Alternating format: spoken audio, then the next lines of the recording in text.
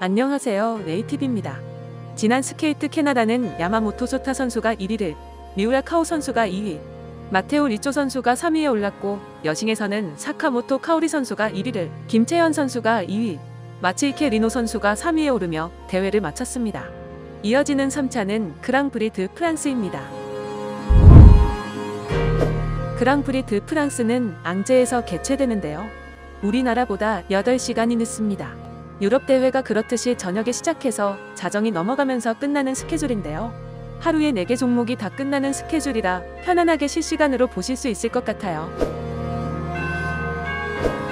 우리나라 시간으로 11월 3일 금요일 21시부터 22시 29분까지 여싱 쇼트를 시작으로 23시부터 00시 18분까지 아이스 댄스 리듬 댄스를 00시 45분부터 02시 14분까지 남싱 쇼트와 02시 45분부터 03시 50분까지 페어 쇼트로 대회의 첫날을 마무리합니다.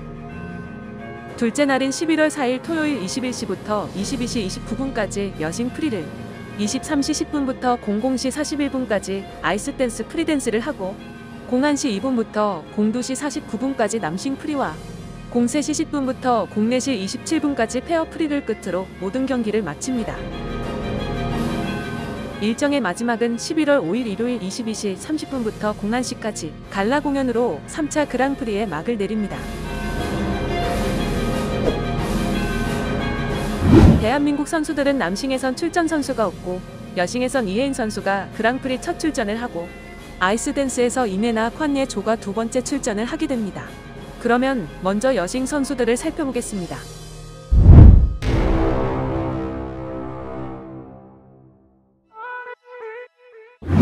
이번 여싱의 엔트리를 보면 약간 각 대륙을 대표하는 선수들이 대결하는 느낌인데요. 아시아에선 2023 월드 은메달리스트인 이해인과 와카바 히구치 선수 등이 있고 북미를 대표하는 이사보 레비토 선수가 두 번째 출전을 2023 유럽 선수권 금메달리스트인 아나스타시아 구바노바와 동메달리스트인 키미 레폰드가 출전합니다. 그래서 이 선수들의 각 요소 점수와 가산점을 비교해보는 것도 재밌는 포인트일 것 같아요. 일단 지금 가장 폼이 좋은 선수는 이사보 레비토입니다. 1차 그랑프리에서도 깔끔한 수행으로 podium에 올랐습니다. 러츠 점프의 edge call과 프리 후반 점프의 회전수가 다소 모자라 보이지만 스핀과 PCS 점수가 훌륭하기 때문에 가장 유력한 우승 후보임은 부인할 수가 없네요.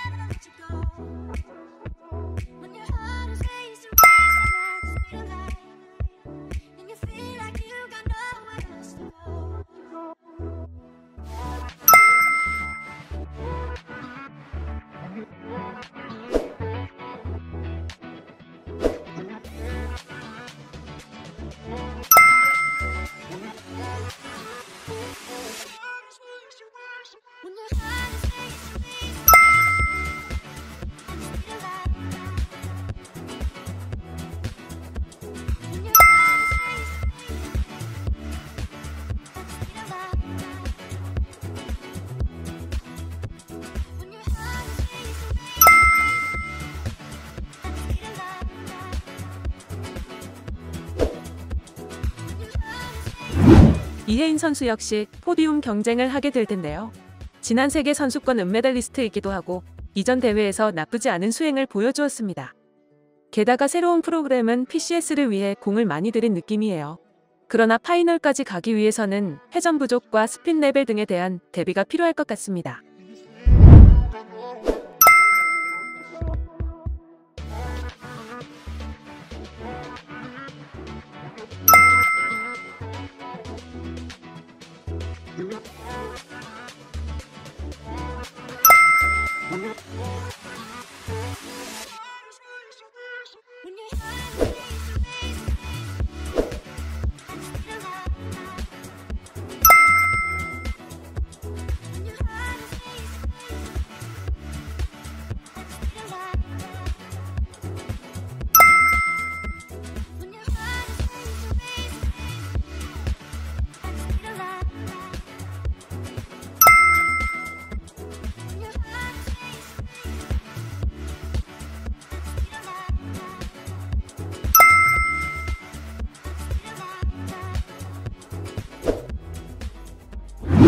지난 시즌 아쉽게 큰 국제대회 엔트리에서 제외된 스미요시 리온 선수가 이번 시즌에는 어떤 포텐을 보여줄지 기대가 됩니다. 그러나 여전히 쿼드러플 토룹의 성공률이 좋지 않고 트리플 점프를 모두 clean해야 일본 연맹에 확실한 눈도장을 찍을 수 있을 것 같습니다.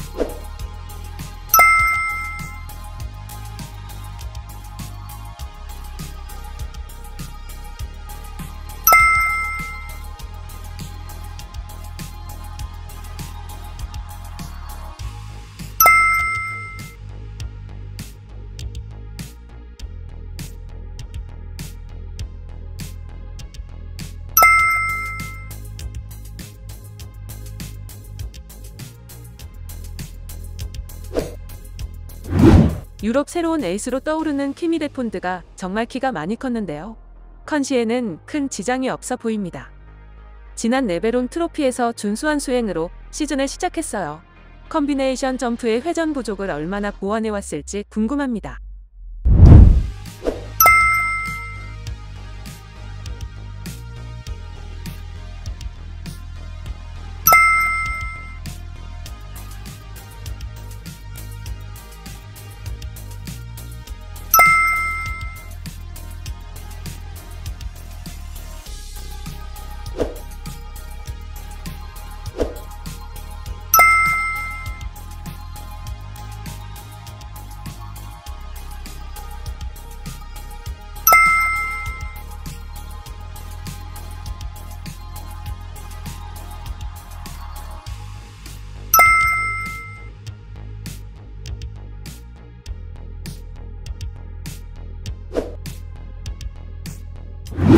와카바 히구치 선수가 드디어 국제대회에 컴백합니다.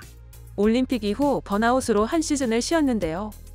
다시 돌아와 국내 대회를 통해서 폼을 올렸습니다. 긍정적인 건 트리플 트리플 combination 점프를 회복했지만 프리 clean 여부는 아직 물음표입니다. 이번 대회에서 가장 궁금한 선수이기도 합니다.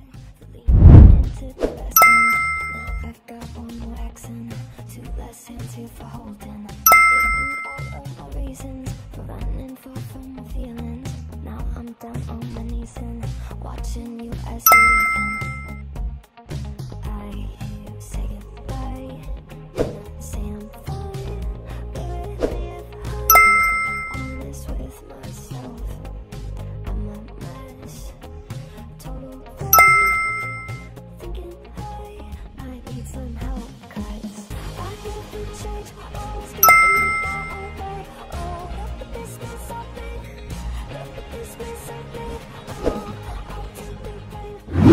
아나스타샤 구바노바 선수는 약간 정체된 느낌이에요. 물론 쇼트와 프리 모두 clean을 해냅니다만 빗점프에 너무 무신경한 인상입니다. 그래서 PCS와 총점에도 영향을 미치는 것 같아요. 이 점만 개선해도 유럽에서 완전히 밀어줄 것 같은데 말이죠.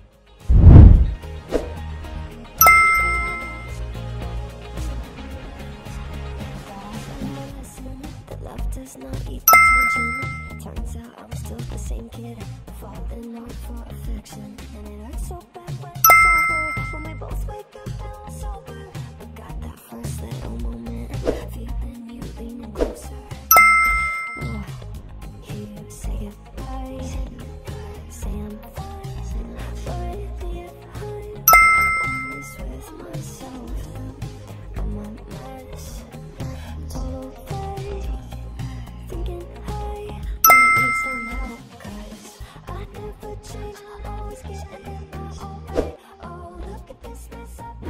쟁쟁한 선수들이 많아서 개최국인 프랑스 선수들의 엔트리가 상대적으로 약해 보입니다. 챌린저에서 워밍업을 마친 레아 세르나와 로린 쉴드 선수가 홈에서 어떤 모습을 보여줄까요? 레폰드와 유럽 차세대 여싱 자리를 경쟁하는 니나 핀자로네 선수와 핀란드의 기대주인 야나 유르키넨 선수의 대결도 궁금해집니다.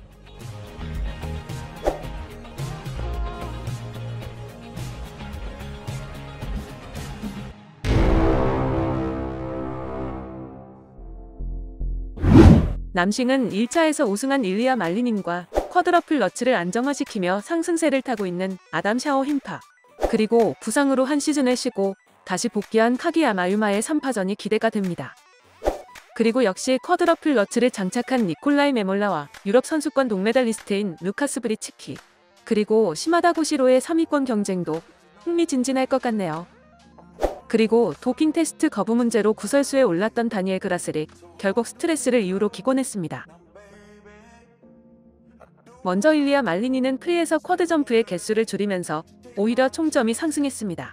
quad Axel과 quad 뺀 구성인데 아담 샤오 힘파와의 대결에서 1차 구성을 유지할지 아닌 quad를 더 넣을지가 관전 포인트입니다.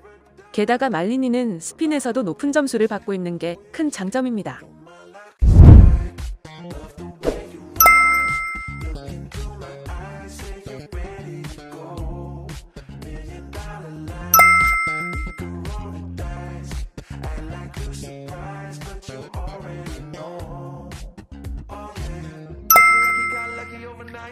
Overnight. Jackpot when I got the invite.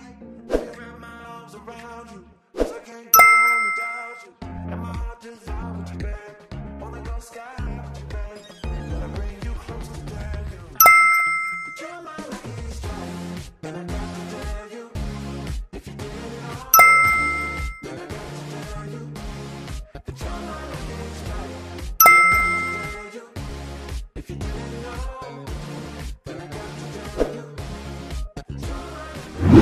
아담 샤오 힘파는 quad Lutz, quad Salchow, quad toe loop의 quad 3종을 총 6번 구성합니다. 말리닌 선수와 구성이 같지만 아담 선수는 모든 점프를 전반에 다 몰아 뛰는 전략이라서 후반 가산점에서는 이득이 없습니다. 그러나 big 점프에서 높은 점수를 받고 있고 안무가 브누아 리쇼와의 작업으로 PCS도 오르는 추세라서 말리닌과의 정면 승부가 더욱 기대됩니다.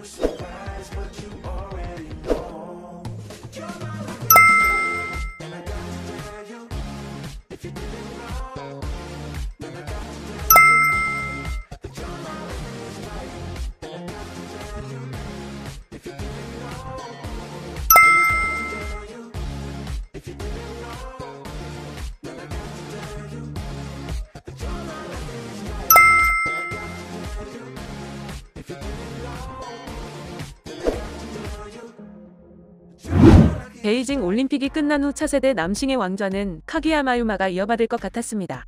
그러나 부상으로 한 시즌을 skip했는데요. 이번 시즌 초부터 폼이 괜찮습니다. 일단 quad Salchow, quad toe loop을 총 3번 구성합니다만 본격적으로 quad군을 더 늘릴지 지금처럼 안정 구성을 할지 지켜봐야겠습니다.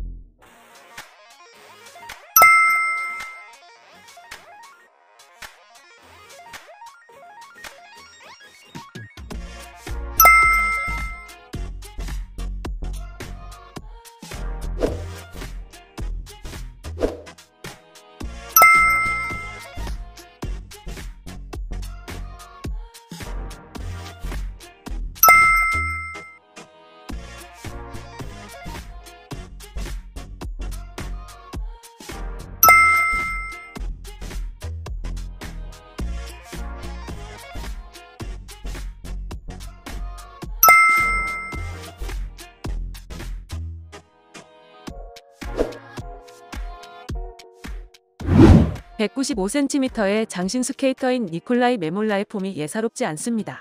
벌써 세 번의 challenger 대회를 나가는 강행군으로 컨시와 점프 quality를 상승시키고 있는데요. quad Lutz 두 번의 구성이 안정화되고 공인도 받았습니다. 본격적인 시니어 데뷔 무대에 어떤 결과를 보여줄지 기대됩니다.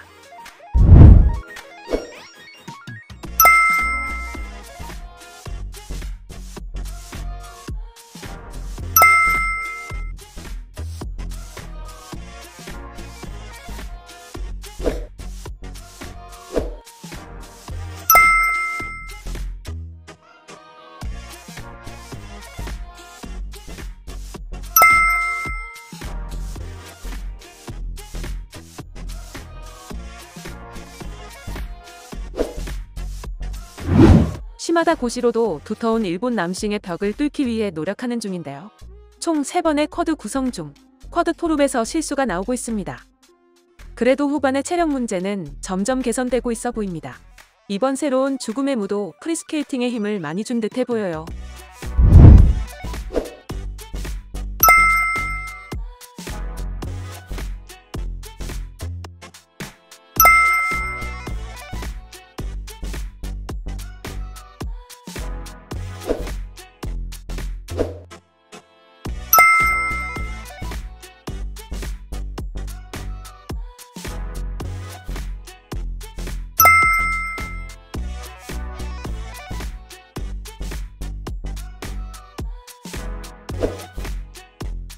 지난 시즌 데뷔 이래 가장 좋은 career를 보여준 루카스 브리츠기 선수가 과연 podium에 오를 수 있을까요?